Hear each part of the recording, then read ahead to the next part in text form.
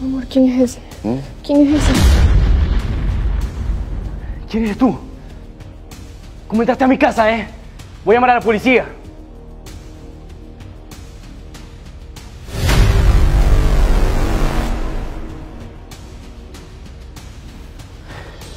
Amor, pero es idéntica a ti. Es tu hermana, Soy tu esposa, Jorge. Pero si mi esposa es fea, no te atrevas a decir que eres mi esposa.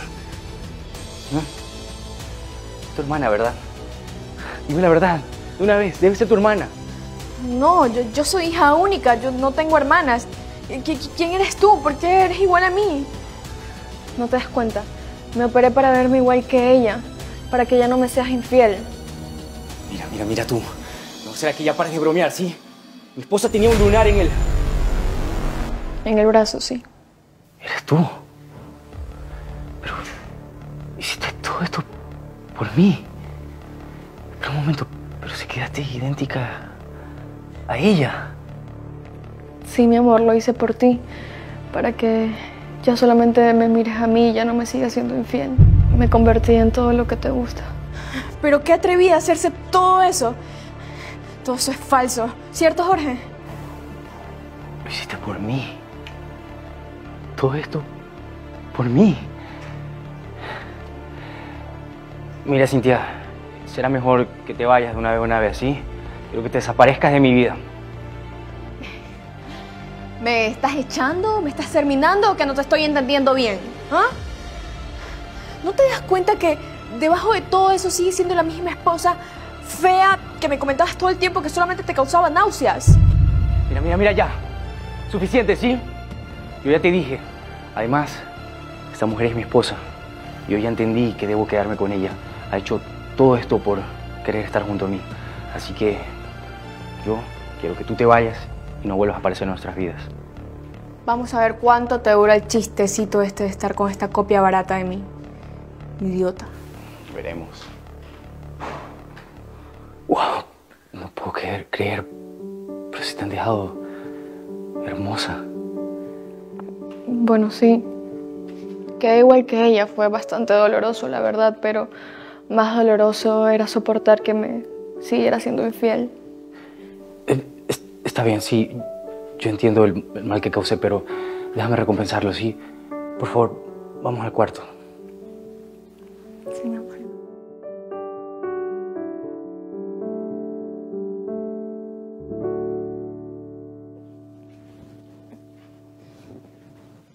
Buenos días, mi amor. ¿Cómo te sientes después de, la no- de anoche? Te amo. Eh, ¿Qué te diré? Nada otro mundo. Sigue siendo tú. No, no, no sé a qué te refieres, mi amor, pero tú me dijiste que ya te gustaba así. ¿Qué, qué- no, ¿qué pasó? A ver, ¿cómo te explico? Sí, hicieron un buen trabajo en tu rostro. Lo que pasa es que el resto... ¿Pero qué? Por favor, dime, dime. Mira, si te soy sincero, Cintia tenía un gran escote entre sus pechos. Y tú, tú no tienes nada. No, mi amor, pero, pero escúchame. No, no me dejes, sí, te lo suplico. Yo voy donde el doctor inmediatamente y le digo que me opere y me haga todo lo que me tenga que hacer para que yo te guste de nuevo, ¿sí? Ok, ok, está bien. Pero preocúpate, ¿sí? Porque cada día que pasa, lo que siento por ti va hacia menos. Entonces ve ando el doctor y arréglate si lo que quieres es salvar este matrimonio. Me voy, que tengo una reunión. Chao,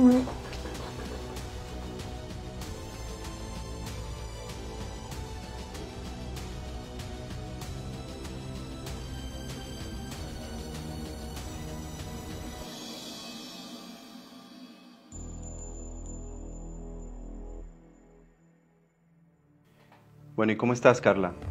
No te veo muy contenta. ¿Pasó algo? Hicimos el procedimiento idéntico a como era la foto. Fue 100% exitoso. Doctor, sí, solo que me faltó algo que no contemplé. ¿Algo? ¿Qué faltó? Sí, mire, necesito que me opere los pechos así, tal cual, como ella. Mira, Carla, discúlpame, pero considero que eso no es necesario. Tú tienes una figura muy armoniosa. Tu cuerpo tiene una muy linda simetría. Además recuerdo que antes de entrar al quirófano me habías dicho que estabas muy satisfecha con tu cuerpo y que nunca le ibas a intervenir. Entonces, ¿por qué cambió eso? Mm, bueno, sí, pero eso era antes. Ahora necesito estar así. Yo, mi esposo quiere que yo esté así y lo voy a hacer y por favor, opéreme lo más rápido posible. Mire, si quiere yo le pago el doble, pero por favor opéreme hoy mismo. ¿Tu esposo es consciente de los riesgos que conlleva una cirugía de estas? Carla, esto no es como ir al estilista, no es como ir a la manicurista. Considero que él es muy desconsiderado por su parte. Mire, doctor, yo necesito que me opere lo más pronto posible. Sí, yo necesito quedar así porque a él le gusta que yo esté así. Si no, se va a ir nuevamente con su amante y yo no puedo permitir eso. Yo a él lo amo mucho y, él no se puede ir de mí. Mire, por favor, ayúdeme. Usted debe entenderlo de, hombre a hombre. Déjame, déjame llamar al anestesiólogo para que te vea y, y te operamos hoy a la tarde. Ay, muchísimas gracias, doctor. Yo sabía que iba a entender. ¿Lo llama? Claro.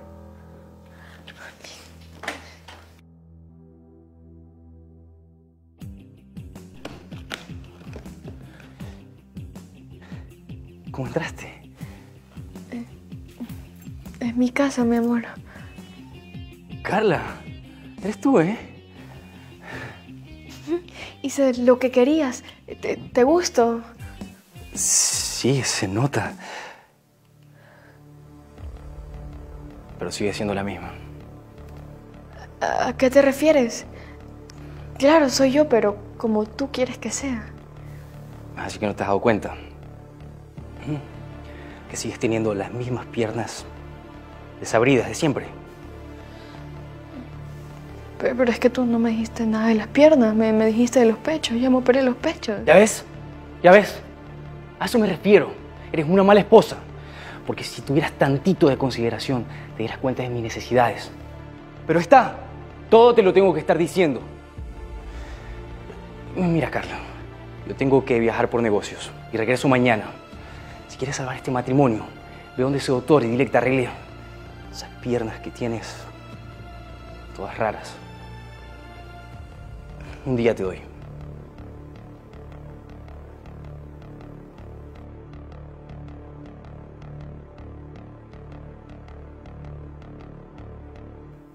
No, Carla, discúlpame, pero no estoy de acuerdo. Acabas de salir de dos intervenciones, apenas te estás recuperando y quieres ingresar en una tercera. Doctor, es que yo ya me encuentro recuperada, yo me siento bien. Mire, solo necesito que mis piernas ahora queden así. ¿Y después qué más va a surgir? A ver. Ah, le pago el doble, por favor. No se trata de dinero. Se trata de amor. Claro, de amor, usted me entiende. De amor propio. Y veo que tú no lo tienes. Te aterra tanto la idea de que tu marido te siga siendo infiel o el divorcio que mira hasta las consecuencias que has llegado. Mira, Carla, la cirugía estética nos brinda la posibilidad de tener cambios en nuestro cuerpo. Eso nos ayuda a nuestra autoestima, es una manera de, darnos un autorregalo a nosotros, ¿sí? El problema radica en cuando tú dejas que los demás sean los que interfieran en cómo tú te ves, que los demás lo decidan. Si te afecta lo que los demás piensan de ti, termina pasando esto, que esto, déjame decirte, esto es un caso muy común, lamentablemente pasa todo el tiempo. Las personas están tan inseguras porque escuchan a los demás que al final terminan como tú. Y Yo debo ser sincero con lo que estoy viendo. Doctor, por favor. Por favor. No, Carla. No estoy de acuerdo. Acabas de salir de dos intervenciones. Apenas se está recuperando y quieres ingresar en una tercera. Doctor, pero es que yo ya me encuentro recuperada. Mire, solamente necesito que me haga estas piernas, por favor. A ver, ¿y después? ¿Qué más va a surgir? Eh, le pago el doble. No se trata de dinero, Carla. Se trata de amor. Claro, usted lo entiende, de amor. De amor propio. Y yo no veo que tú lo tengas. Te aterra tanto la idea de que tu marido te siga siendo infiel o del divorcio que has llegado hasta estas consecuencias. Mira, Carla, la cirugía estética nos brinda la posibilidad de hacer cambios en nuestro cuerpo. ¿sí? Eh, cambios que generan y nos ayudan en nuestra autoestima. Es una manera de autorregalarnos a nosotros mismos. ¿sí? El problema radica cuando tú dejas que los demás decidan por ti cómo tú te ves físicamente. Cuando a ti te afecta eso, automáticamente pasa esto, que debo decirlo, lamentablemente es un caso muy común. Tú no puedes entregarle la visión de tu cuerpo a los demás, porque eso simplemente va a reafirmar tus propias inseguridades. Yo debo ser honesto y te digo lo que estoy viendo.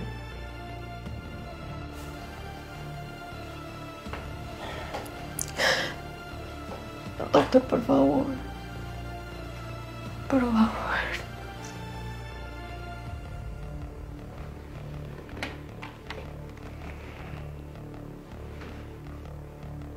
Daniela, cancela las dos citas y prepara el quirófano para las cuatro. Sí, vamos a intervenir de nuevo a la señora Carla.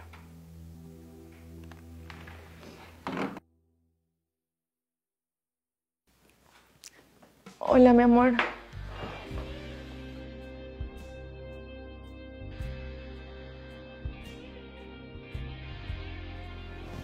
Carla, ¿eres tú? Sí, mi amor, de pies a cabeza me convertí en lo que tanto deseas. Así veo. Solo que un poquito tarde. ¿Qué? ¿Me escuchaste? Mira, yo sé que he cometido muchos errores en esta vida. Y sí, es verdad, tal vez te engañé un tiempo, pero eso es cosa del pasado. Eh, ahora me di cuenta que pues, me equivoqué y que quiero a mi esposa de vuelta. La verdad estás toda cambiada. Me siento, la verdad, muy engañado. Pero ¿cómo me puedes decir eso después de todo lo que he sufrido por ti para verme como quieres? Mira, mira, mira, mira, mira, mira, ya está. Deja el drama, ¿sí? Si tienes alguna queja, pues nos divorciamos y ya, súper fácil, ¿no? Ahora, te propongo algo mejor. Yo me voy a Miami por negocios. Dos días, nada más. Si a lo que regreso eres la esposa que tenía antes, pues lo conversamos, ¿sí? Pero hasta mientras... Te quedas.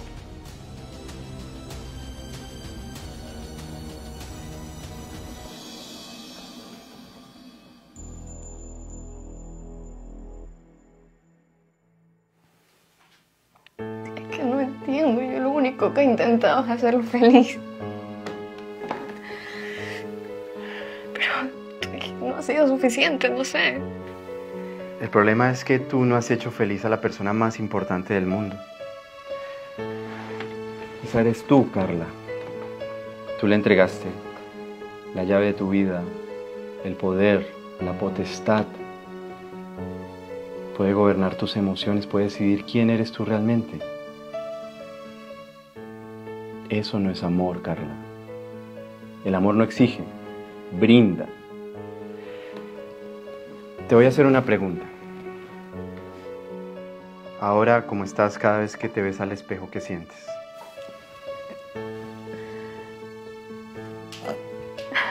No, no sé quién soy. No me reconozco. Entonces, si tú sientes eso, significa que nunca viniste aquí buscando algo para ti, sino para Él. Por eso la otra persona que está al otro lado del espejo es una desconocida para ti. Dime una cosa. Si tu esposo se le cruzan los cables un día y dice que, quieres que te, te, vuelvas hombre, ¿lo harías? ¿Te llamarías Carlos? Carlos. no. Sal. Sal y ten una cita. Escucha a una persona diferente, Carla. No puedo. Es que no puedo. Estoy casada. Antes de que te opere una vez más, solo haz eso. Sal, eh, tómate un café, siéntate, escúchate a ti mismo, escucha tu interior. Recuérdate quién eres. Que yo sepa, no hemos hecho ninguna intervención cerebral aún, ¿no? Yo, yo te voy a pedir solo eso, por favor. Y no te lo pido como tu médico. Te lo pido como tu amigo. Después de eso, vemos qué intervenciones quieres hacerte. ¿Está bien? Gracias. Gracias, permiso.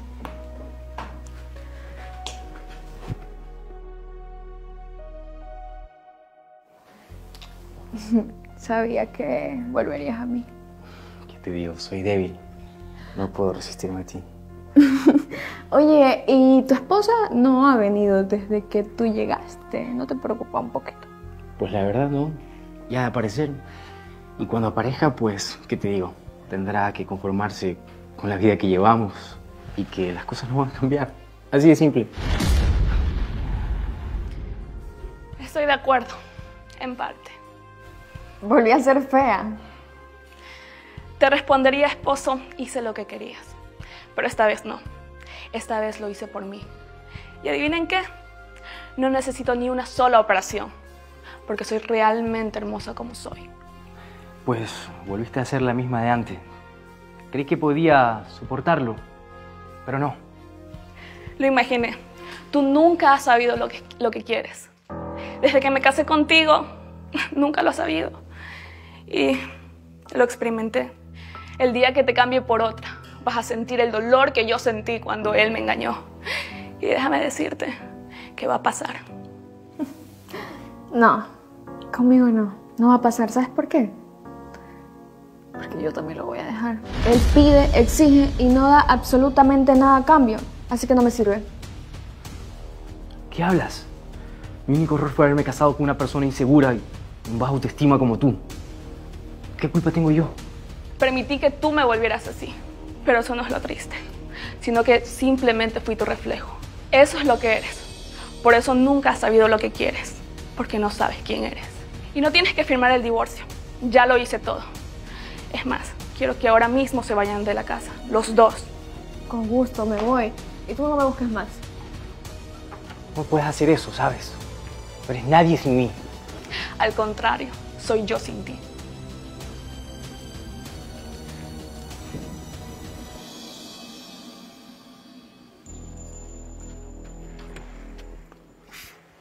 Disculpe, señorita, ¿usted es Carla Manrique? Sí, ¿por qué? Esto es suyo. Con permiso, dijo Mochito.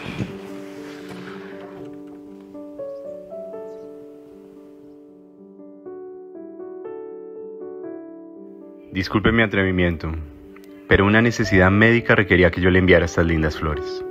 Y es que van acompañadas de una confesión. Como su médico conocí la desnudez de su cuerpo para operarla, pero hay algo con lo que yo no contaba y es que me hallé perplejo cuando descubrí la desnudez de su corazón. Sépame disculpar, querida paciente, pero fui testigo de algo maravilloso, su amor propio.